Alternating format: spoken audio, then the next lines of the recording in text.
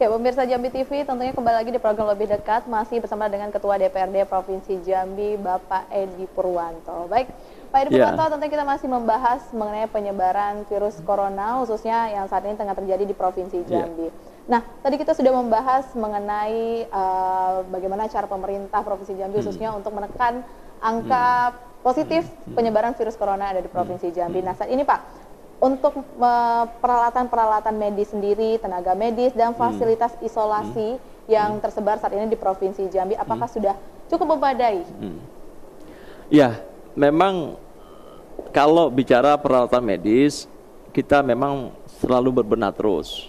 Sementara memang sudah cukup, tapi memang kalau ada tambahan-tambahan pasien itu nanti yang kita akan uh, antisipasi maka anggaran itu kemarin untuk rumah sakit kita sudah anggarkan uh, eh, 7 miliar, kemudian ditambah dinas kesehatan 2,5 miliar. Nah sekarang kita tambah lagi 13 sampai 14 miliar untuk penanganan itu. Bagaimana menyiapkan ruang isolasi dan lain sebagainya, lain sebagainya. Nah itu, itu menurut saya harus keharusan bagi kita APD APD semuanya harus kita siapkan dengan sedemikian rupa dengan sebaik sebaik sebaik mungkin gitu.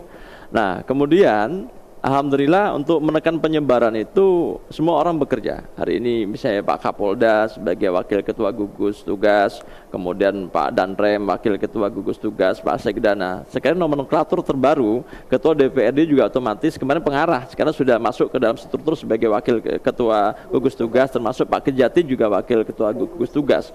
Nah, ini sudah bekerja berkolaborasi sedemikian rupa. Nah, sekali lagi untuk menyelesaikan persoalan Covid tidak bisa dikerjakan sendiri-sendiri. Harus harus terintegrasi integrasi.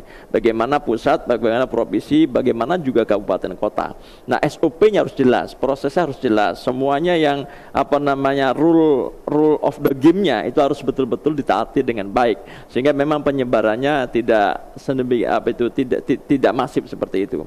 Contoh tadi misalnya kita pengecekan perbatasan luar biasa. Kemudian di bandara juga kita luar biasa. Bahkan kami kemarin minta minta tolong betul apa namanya yang datanya harus akurat. Yang datang itu siapa KTP-nya ditinggal di fotokopi nanti kita di, diawasi terus seperti itu. Okay. nah ini, ini yang kita lakukan. Kemudian kita juga sudah uh, berkoordinasi dengan gugus tugas kabupaten kota.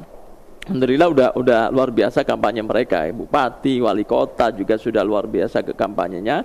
Dan bahkan kota Jambi misalnya uh, sudah memperlakukan jam malam jam 9 malam udah udah udah yeah. sudah sudah tutup semua apa itu tempat makan memakan apa itu yang apa itu pecel lele atau apa itu tutup. tutup Tapi ya. memang kita kemarin sudah diskusi dengan Pak Kapolda, nanti kita akan diskusi dengan Pak Wali Kota bagaimana kalau solusinya pecel lele tetap buka, tetapi kursi-kursinya tidak ada lagi. Jadi orang datang ke situ hanya membeli, habis itu pulang. pulang ya. Hanya melayani untuk pembeli untuk dibawa ke rumah.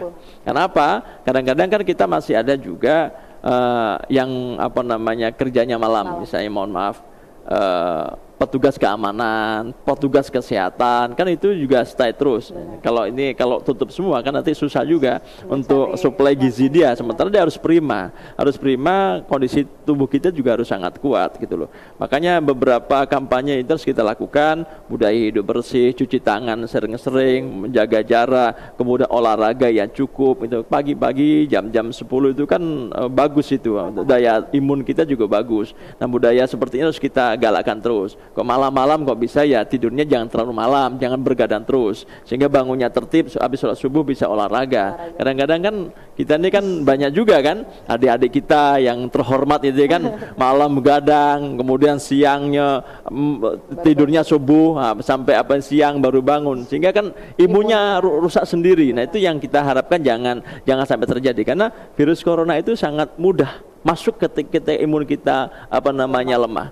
Kalau imun kita lemah, kita bersentuhan saja, berketemu, ketemu, ngobrol macam-macam itu juga bisa uh, apa itu men, apa itu menjangkit kepada kita, menjadikan apa, apa itu kita juga bisa apa namanya terkena virus corona itu sendiri corona. seperti itu. Jadi memang uh, harus sama-sama sadar lah tentunya Pak hmm, ya yeah. untuk menjaga kebersihan, yeah. tentunya hmm. juga menjaga kesehatan. Nih kalau misalnya sama-sama yeah. semuanya hmm. turut peduli dengan diri masing-masing terlebih dahulu tentunya yeah. kita bisa sama-sama yeah. Sampai tambahin, ya, saya, saya tambahin tadi. Bahkan kami juga kemarin di PRD provinsi sudah turun ke bawah. Yeah. Kami cek semua kesiapan rumah sakit rujukan itu. Jadi semua anggota DPRD turun ke sana sambil memberikan bantuan apa itu uh, berupa apa itu vitamin, minuman sebagainya kepada apa tugas medis. Itulah kita cek bagaimana ruang isolasinya, bagaimana kesiapan dokternya, dokter parunya, bagaimana sistem koordinasinya. Kalau misalnya dari rumah sakit uh, yang bukan rujukan, kerujukan seperti apa gitu kan.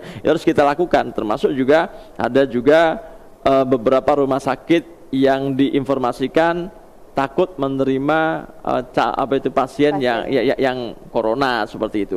Nah hal seperti ini harus kita kampanyekan. Mengapa harus takut? Yang penting seta, se, sepanjang SOP-nya juga benar dan jelas. Termasuk juga kita juga mengkampanyekan terkait misalnya kalau kalau seandainya ada yang meninggal. Jangan sampai kayak di Jawa Tengah. Perawat meninggal, kemudian sama warganya, RT-nya menolak untuk dimakamkan di situ.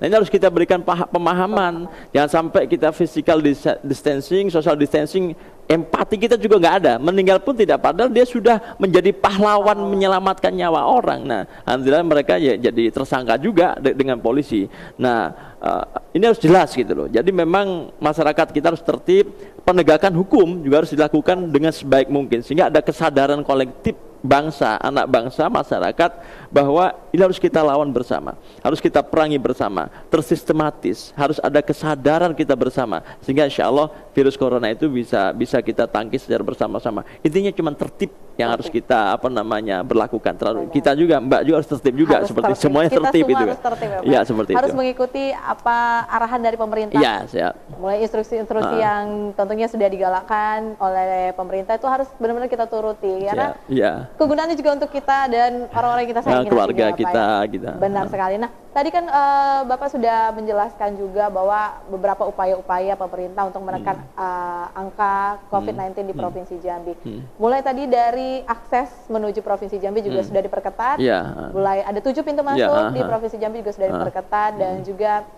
baik pasien ODP, PDP hmm. semua juga sudah ada hmm. ruang isolasi khusus. Ada, Apa ya. nih Pak upaya-upaya pemerintah Provinsi Jambi untuk menekan angka COVID-19 untuk menyebar di Provinsi Jambi? Sekarang kita harus mengkampanyekan masif. Yang kita lakukan misalnya ada pasien yang positif COVID ini. Ya. Ini teman-teman sudah menyusuri dia selama berapa belas hari yang lalu ketemu dengan siapa, kemudian sosialisasi dengan siapa, ke mana saja. Ini harus harus kita rekam jejaknya kita cek sehingga orang-orang yang potensi kena ini segera kita apa namanya menyuruh kita suruh untuk isolasi isolasi diri dulu. Ya udah jangan ke mana-mana 14 hari ya tertib ya kamu di rumah. Nah, hal seperti itu isolasi mandiri harus kita berlakukan gitu kan. Kemudian juga menurut saya yang apa namanya juga penting untuk kita cermati bersama eh, tadi kita harus mulai jemput bola jemput bola pemerintah juga jemput bola masyarakat juga jemput bola. Yang bila perlu mohon maaf kalau memang memungkinkan kita minta kepada bupati wali kota membeli namanya alat untuk ukur suhu itu. Jadi memang misalnya di, di suatu RT kita cek oh ini kita mapping bapak ini punya riwayat sakit A B C ini rentan ini harus dijaga. Kalau sudah ada gejala-gejala segera kita dorong kita cepat tindakan. Kalau memang ada gejala-gejala misalnya flu kemudian apa namanya uh, sakit tenggorokan, pusing, kemudian apa namanya suhu, uh, suhu tubuhnya enggak ini harusnya sudah mulai ini gitu, mulai tertib. Nah, kampanye besar-besaran kita lakukan, sosialisasi besar-besaran kita lakukan sehingga orang semuanya sadar. sadar. Beberapa tempat kadang-kadang belum sadar gitu loh. Ya. Misalnya mohon maaf dengan segala hormat ada pembatasan misalnya kita sholat di masjid seperti itu Sholat, sholat di masjid boleh, tapi memang harus memperhatikan apa social distancingnya, physical distancingnya. Berarti jaraknya harus satu meter. Kemudian apa namanya masuknya harus pakai hand sanitizer. Kemudian kemudian disinfektan juga kita lakukan. Ada pemahaman, lupa namanya sholat itu kan kalau mau sah kan harus mepet.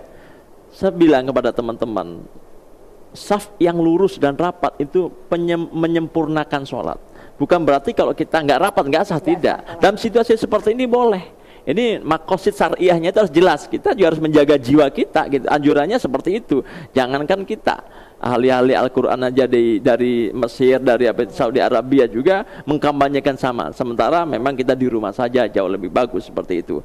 Nah, kesadaran itu harus harus kita lakukan. Jangan kita merasa ini ada proxy war. Wah, ini perang ini. Nanti corona ini hanya virus akal-akalan gitu kan. Ini buatan negara A, negara B. Nah, ini akhirnya kan menjadikan kita abai. Nah, ketika kita abai dengan rule yang kita bentuk, ya sudah akhirnya penyebarannya cepat. Masa kita pengen seperti Italia, masa kita pengen seperti Amerika Serikat, masa kita pengen dengan Spanyol kan tidak. Alhamdulillah Indonesia ini dikasih rahmat su apa itu? Ini bagus. Apa namanya? Panasnya bagus musimnya juga bagus. Tetapi jangan salah kadang-kadang di desa itu juga harus kita kampanyekan. Masih tadi loh masih begini yeah. masih nggak awam. Ma masih dibilang aduh sombong ya, ya gitu loh. Nah ini harus kita lakukan sama-sama. Yang sama -sama nah yang kita takut nah ini misalnya ada adik kita atau anak kita atau orang tua kita pulang dari Jakarta atau, atau pulang dari Luar wilayah yang memang wabahnya besar gitu loh Nah budaya di desa itu kok namanya pulang ya suan. Ya. Suan ke rumah si A, suan ke rumah si B, suan ke rumah si C gitu loh. Dan kalau alhamdulillah anak ini sehat, ini anak bagus atau orang ini bagus gak masalah. Tapi ketika orang ini kena virus kan bahaya. Menyebar ketemu dengan A, ketemu B, menyebar si A, bisa menyebar gitu loh. Nah ini harus kita harus menjadikan, mengkampanyekan, di RT juga harus kasih tahu kalau ada warga yang baru datang, isolasi dirimu dulu, 14 hari kau jangan ke mana-mana ini harus tegas gitu loh.